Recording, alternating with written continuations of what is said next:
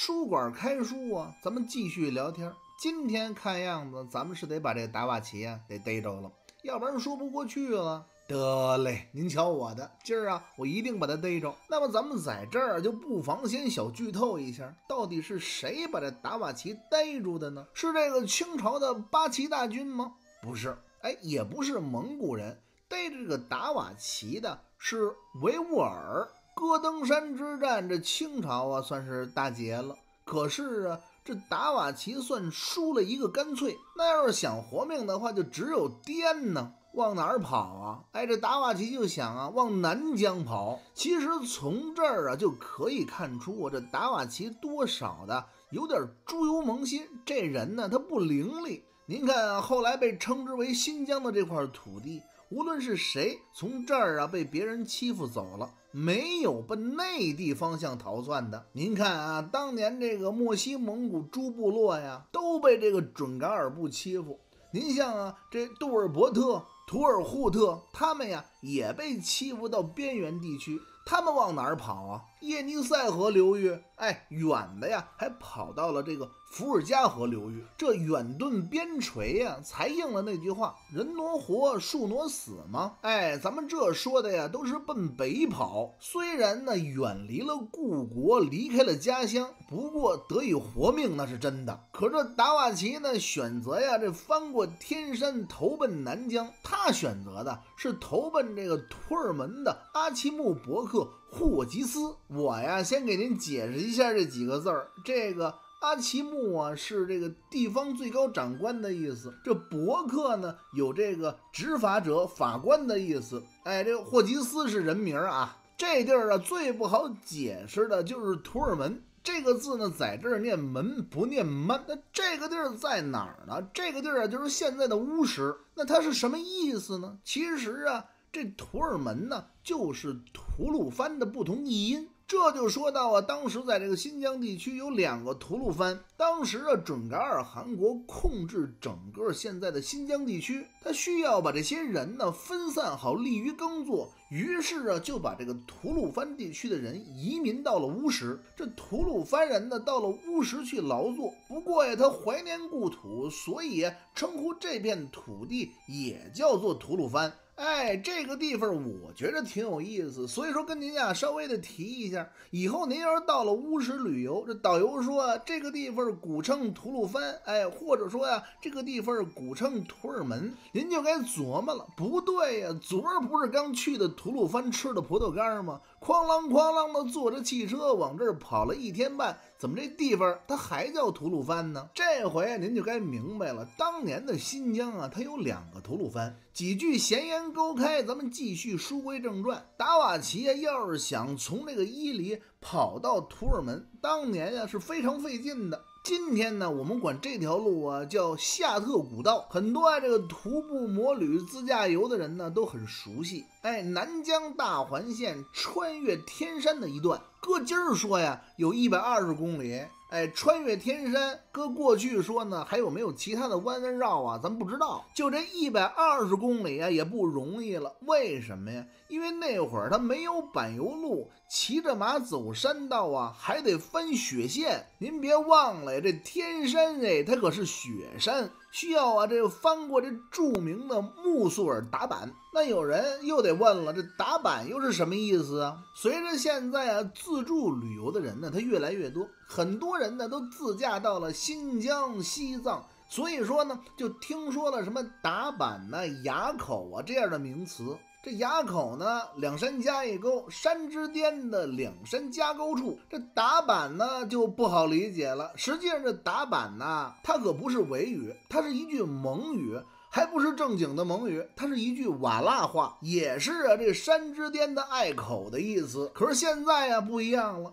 您在这三幺八也好啊，新藏线也好，您经常啊会在这个路。爬到山峰最高处那儿，看到一块蓝匾白字儿的牌子，上边写着呀某某垭口，或者是某某达坂。哎，现在就好理解了，您可以理解为这个路到了山之巅那个地方就是垭口，或者是达坂。那么这达瓦齐他为什么就非得要投着霍吉斯去呢？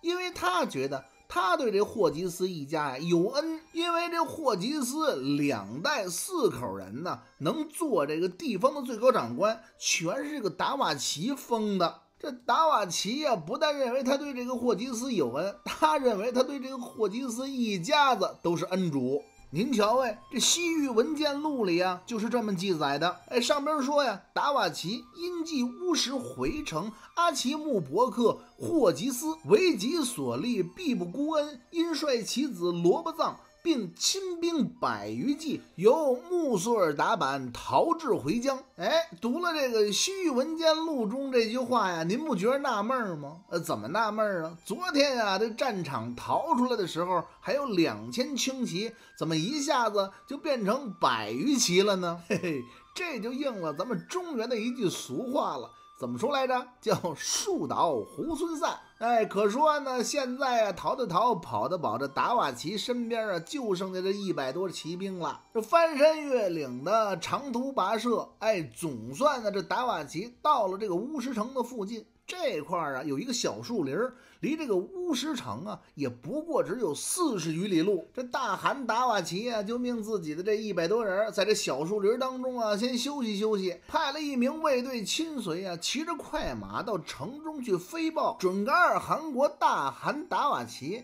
到你这个图尔门城啊视察来了，不到这个半天的功夫啊，这名亲随就回来了。不是自己回来的，还带来了这个图尔门城的使者，以及呀赶着一些牛羊牲畜。这使者见了大汗之后啊，赶紧滚鞍下马给大汗施礼，跟这大汗说呀：“说这个我的汗王，我家阿木什伯克呀，哎，出去骑马的时候把腿摔断了，所以说呢就不能跑来迎接您。于是就派我呀。”给这个韩王，您先送来一些吃喝。您看，这有活羊，这驼架子上啊也有这宰好了的羊肉，并且呢还特意的给您灌了二十壶酒。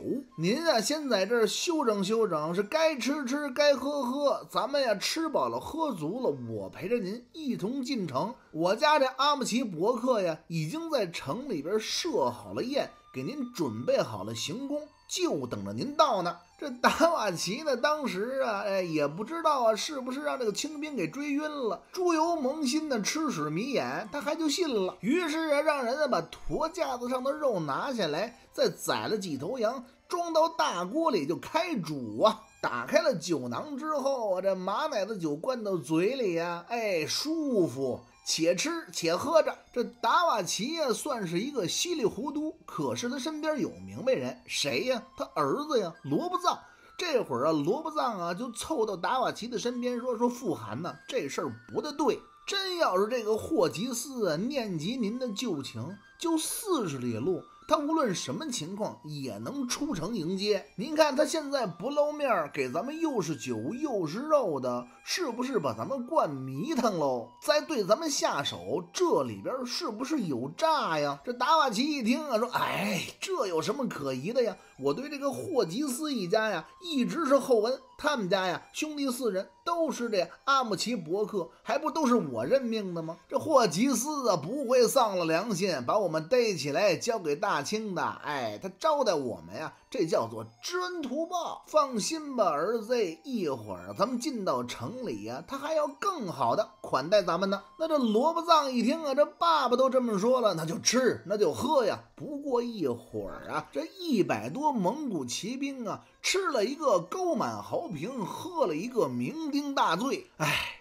不出意外的话，这意外很快就来了。霍吉斯带领着自己几千人的亲兵卫队，把这一百人呢就包了饺子，最后啊就生擒了七十人呢，逃跑了几十人。那这是为什么呀？那原因很简单啊，这霍吉斯啊用脚趾头想啊，他都能明白谁的腿粗啊，谁的腿细。抱粗腿，抱粗腿的吗？再者了，这清军呢，在入江以前呢，就给南疆这些个伯克们呢，都发了明旨，跟他们早就交代过了。如果看见达瓦齐呀，哪儿看见哪儿逮，不能杀，直接交给清军大营。哎，这霍吉斯算是给大清朝廷、给乾隆皇帝献了一份厚礼。可是这霍吉斯献的礼啊，可不光这一份儿。随着这个达瓦齐父子一起被捆到清军大营的，还有一个人，谁呀？罗卜藏丹经。对喽，就是那个雍正朝青海叛乱，后来逃到这准噶尔啊，被当时的大汗噶尔丹策凌藏起来的那个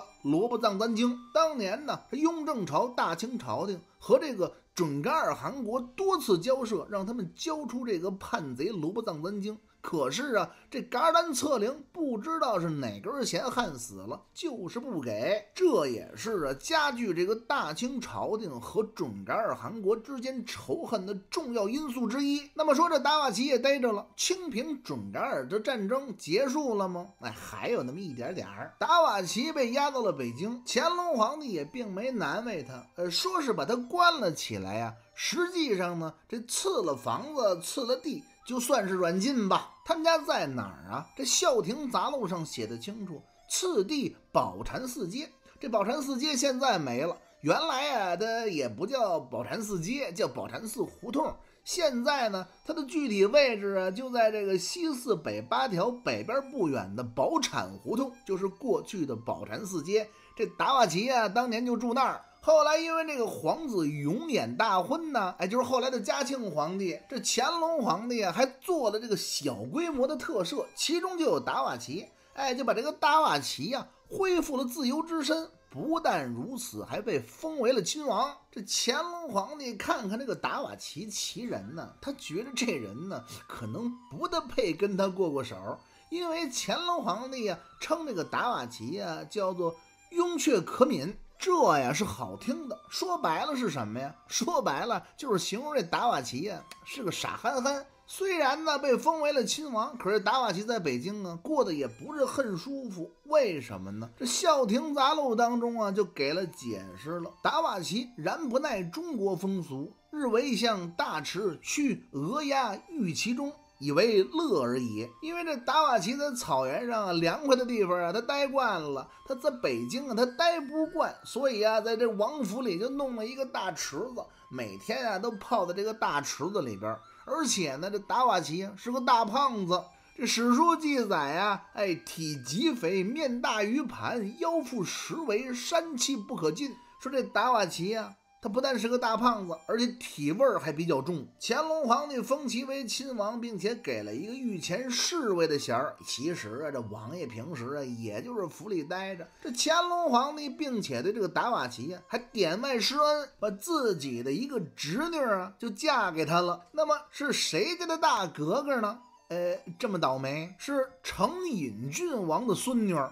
这成隐君王是谁呀？我一说呀，您就得熟悉。这是雍正的三哥允祉啊，就是那个古今图书集成、律历渊深、实际的总裁官。只不过，这雍正皇帝不待见他，不但啊被迫害致死，并且这点文化成果呀，还让这雍正皇帝都安到别人的脑袋上了。这乾隆啊，也是让他三大爷家呀这些后人呢发挥发挥余热吧。于是啊，就挑了一位侄女嫁给了达瓦齐。这书至此处啊，这清平准噶尔达瓦齐部之战到此结束。哎，那接下来这一小段啊，就是送的，咱们不另收费。既然啊，咱们书里都提到了罗布藏三经了，咱们也得把他的下场交代交代。